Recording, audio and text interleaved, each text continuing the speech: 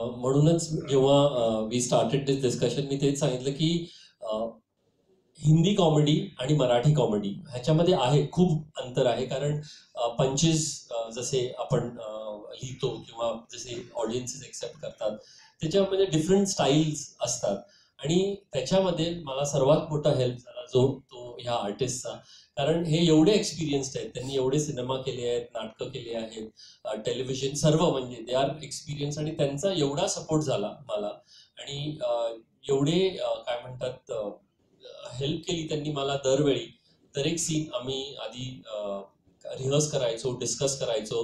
त्याच्यामध्ये ते मला गाईड करायचे की परी वी नो की तू हिंदी आणि इंग्लिशमध्ये असं असं केलंय पण हा जर मराठी ऑडियन्सेससाठी जर पंच जायला पाहिजे तर आपण असं करूया का? आणि आम्ही ते रिहर्स करून बघायचो आणि नॅचरली तिथे सर्वांना ते आवडायचं. आणि तसं तसं आम्ही अडॅप्ट करत गेलो.